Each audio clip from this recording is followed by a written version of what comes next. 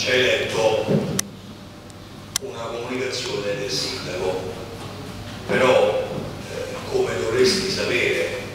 come dovrebbe sapere il sindaco e come sicuramente sa il segretario comunale, che tra l'altro l'ha scritto, la 267 del 2000, articolo 46,4, riporta esattamente che il sindaco deve comunicare i motivi delle dimissioni o delle dismissioni degli assessori, motivandoli al Consiglio Comunale.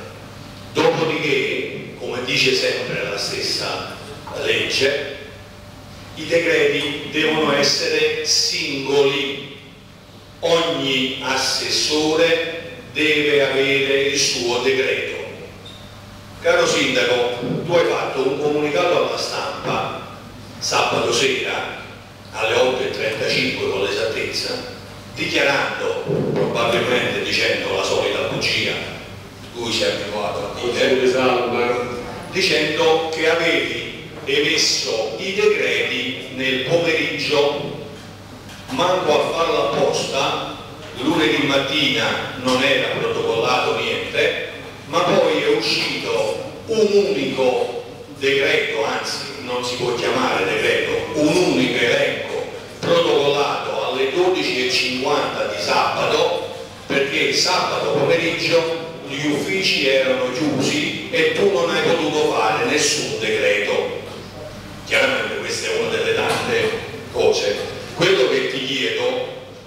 visto la tanto sbandierata trasparenza, legalità, eh, ti faccio presente che in queste nuove nomine, così comunicato sui giornali pubblicamente all'attenzione di tutti, tu hai letteralmente buttato fuori un partito politico a detta chiaramente del partito politico. Invece adesso vedo qui tranquillamente seduto in aula i due consiglieri eletti con quella lista anche se uno giustamente era già uscito prima e faceva parte del gruppo misto, non è utile che sbatti le mani perché è una pregiudiziale sulla tua comunicazione, quindi sto in piena regola e purtroppo mi dovete sopportare perché oggi preparatevi le merendine, il vino e tutto perché ce dobbiamo domani, perché dobbiamo lavorare, abbiamo da lavorare. Per cui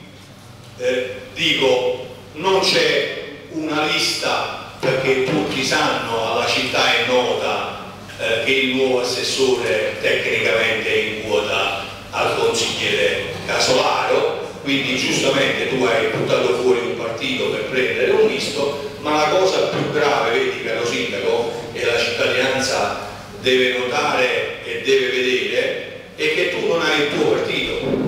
Il tuo partito in questo momento ha sette, con tre consiglieri comunali, e, sono una bella quota perché manda a fare la posta sono i primi tre eletti e eh, non hai indicato l'assessore in quota PD questo molto probabilmente è perché la tua maggioranza politica ormai è andata direttamente a destra visto che abbiamo avuto la conferma degli assessori tranquilli quindi abbiamo una bella giunta di destra forse centro, non più una giunta a guida PD, perché l'unica cosa che sei rimasto, sei rimasto tu, non sappiamo se sei ancora eh, PD o meno, però diciamo che visto l'andamento potresti essere tranquillamente diciamo, accoppiato a qualche grosso esponente. E eh, ti volevo dire questo, eh, in questa mancanza, eh, il segretario mi potrà correggere, mh, mm,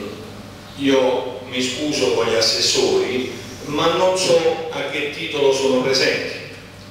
perché la nomina non è assolutamente legale e quindi non so perché sono presenti attualmente in quanto ufficialmente dimissionari fino al nuovo decreto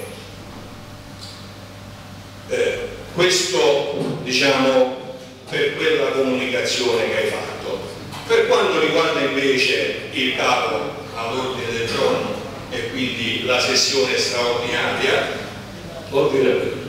questa è straordinaria, c'è scritto qui, sessione straordinaria. Eh, ti prego caldamente da adesso e nel prosieguo dei lavori a fare quello che non abbiamo fatto fino ad oggi, cioè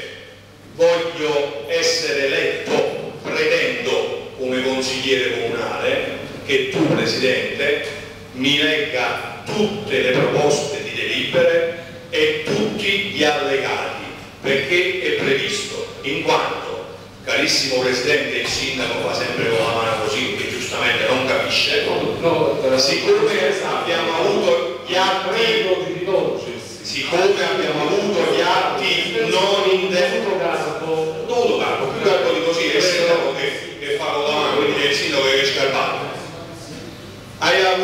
dato i documenti ai consiglieri comunali non in tempo per leggerli perché non ci sono stati 5 giorni. Tant'è vero che la proposta 144 relativa alla discussione che faremo dopo sui debiti fuori bilancio è arrivata ieri all'una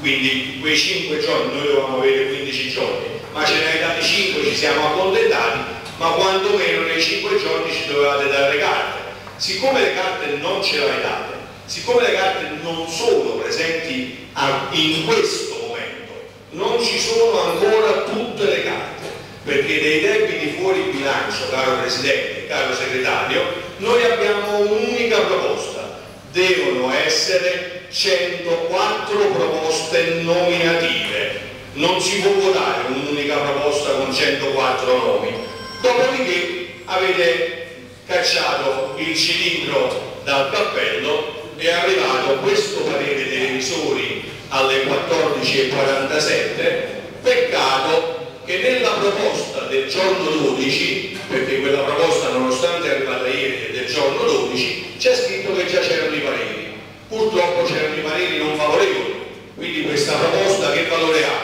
Non favorevole o favorevole? Quindi decidetevi voi quali sono le carte che andate a votare e come le andate a votare. Gentilmente ti richiamo alla correttezza del Consiglio, grazie. Allora, al finale io voglio avvisare